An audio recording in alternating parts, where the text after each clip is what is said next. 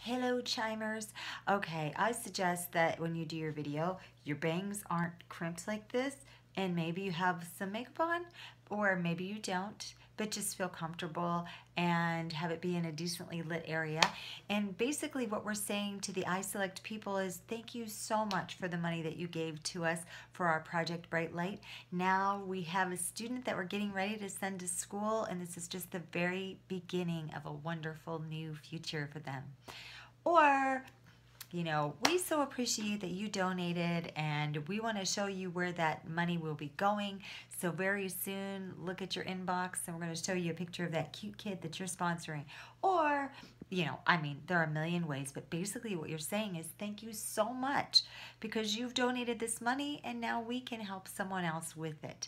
And so that's the gist, but you use your own personality and not this hairdo and um, it's just got to be a short little video saying thank you and that you appreciate it because we do don't we? Don't we just love our donors the people that say hey here's the money and this is to help you guys do what you do.